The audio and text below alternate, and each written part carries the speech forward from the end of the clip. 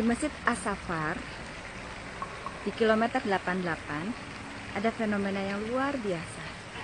Subhanallah, ketika di atas masjid ini ada pantulan cahaya yang merefleksikan bulan bintang, kita melihat di langit di malam ke-25 ini juga ada satu bintang dan satu bulan.